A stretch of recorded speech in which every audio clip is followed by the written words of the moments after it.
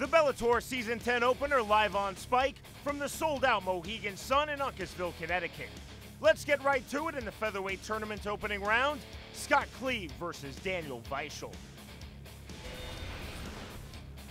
Daniel Weichel, known for his groundwork, but it was his right hand that was the beginning of the end for Scott Cleve. You see it here, put him on the canvas, and then one hook in, getting the tight rear naked choke for the submission finish.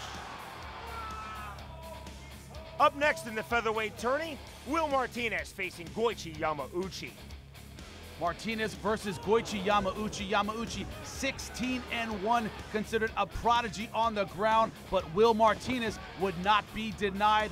Landed some hard strikes on the feet and stable on top, not giving any openings to the submission specialist. He wins a decision victory.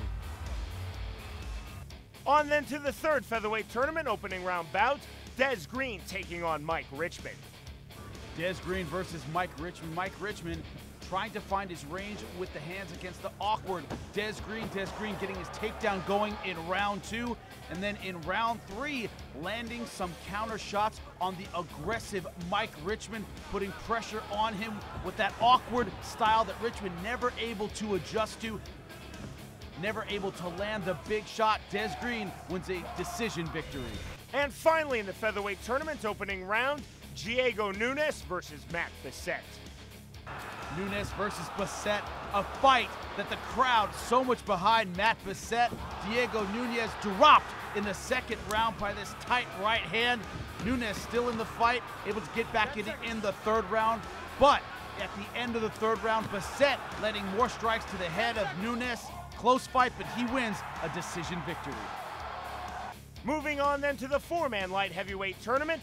First up, semifinal number one, Mikhail Zayats versus King Mo. In the light heavyweight division, Zayats versus King Mo. King Mo not able to get the clean takedowns in the center of the cage, but pressuring Mikhail Zayats up against the fence, landing knees, wearing the Russian down with his pressure. That led to a decision victory. And finally tonight, our main event, light heavyweight tournament semifinal number two, Christian M'Pumbu versus Quinton Rampage Jackson. Christian M'Pumbu versus Quinton Rampage Jackson. M'Pumbu made this fight personal, saying he would retire Rampage tonight. Well, that turned out to be a very stupid statement as Rampage knocked him out with this short right hand in the first round.